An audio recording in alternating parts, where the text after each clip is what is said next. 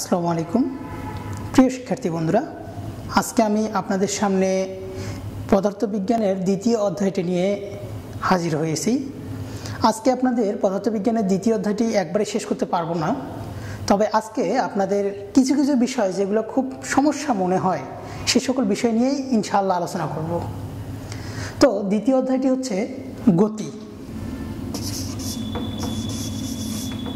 গতি। গতি কী জিনিস? আমরা জানি যে যা কিছুর চলমান, সবই গতি। তো যখন কোনো কিছু চলমান কথাটা চলে আসে, তখন তাহলে গতির বিপরীত কি আছে? সেটা অবশ্যই আমাদেরকে জানতে হবে। নাহলে আমি কীভাবে বুঝব যে এটা চলমান? তো গতির বিপরীত যে কথাটা, সেটা হচ্ছে স্থিতিশীল বা স্থির। এই স্থিতি বা স্থির কথাটা হচ্ছে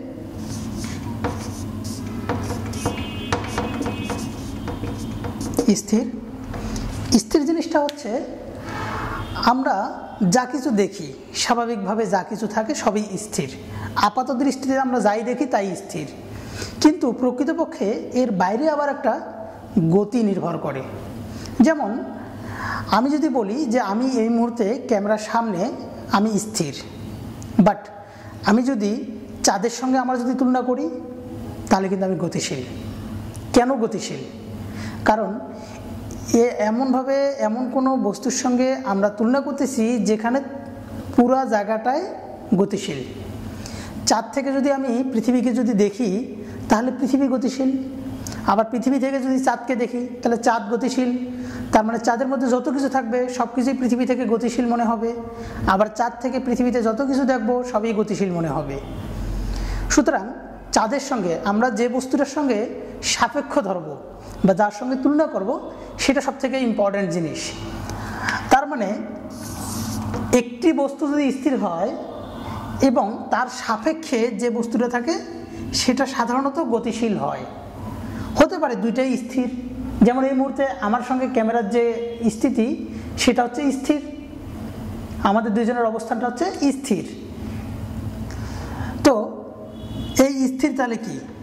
কোনো বস্তু যে অবস্থানে আছে, সে অবস্থায় থাকতে চাওয়ার যে প্রবণতা বা ইচ্ছা বা আকাঙ্ক্ষা, সেটাই হচ্ছে স্থির।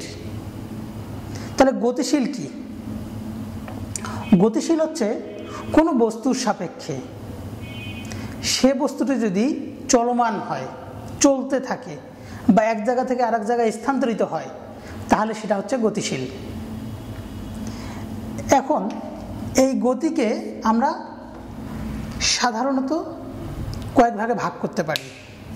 তো আমি একটু, সবগুলোকে একটু মিশাই দিচ্ছি। আমরা একটু দেখব যে কি কি গতি আছে।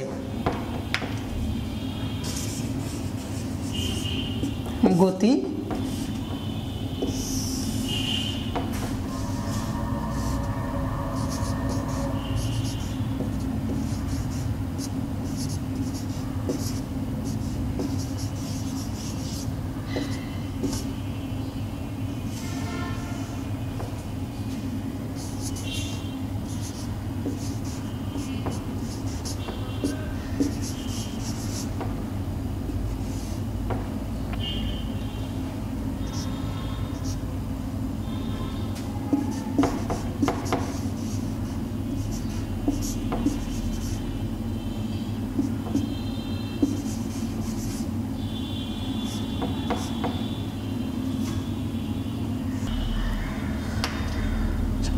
পর্যাবৃত্ত গতি।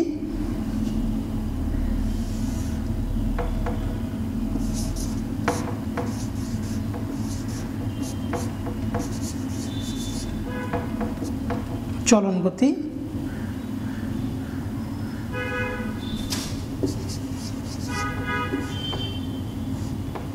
সরল রৈখিক গতি।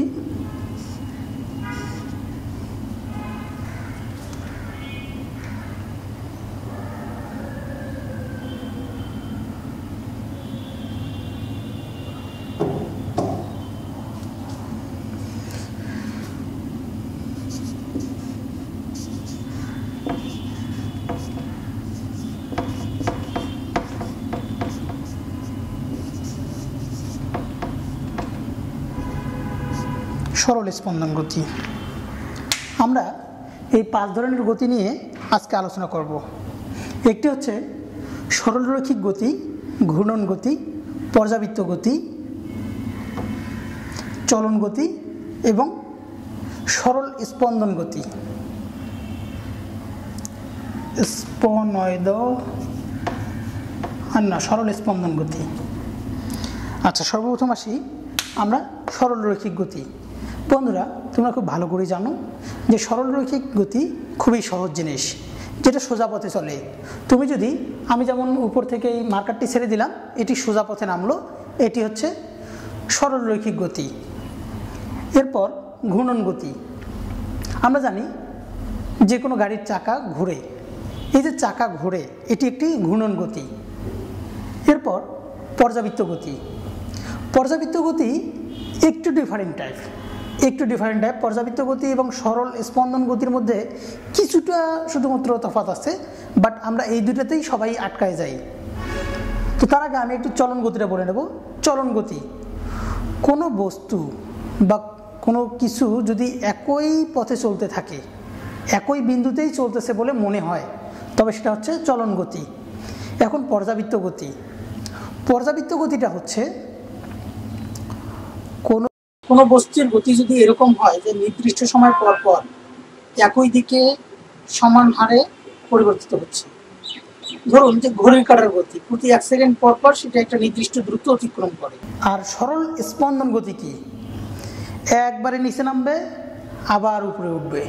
আবার যাবে, আবার উপরে উঠবে। দ্যাট ইজ কল্ড সরল স্পন্দন গতি। এটা অবশ্যই সরল রেখা বরাবর হবে। বন্ধুরা আজকে এতটুকু পর্যন্তই।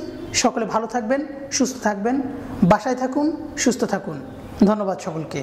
আল্লাহ হাফেজ।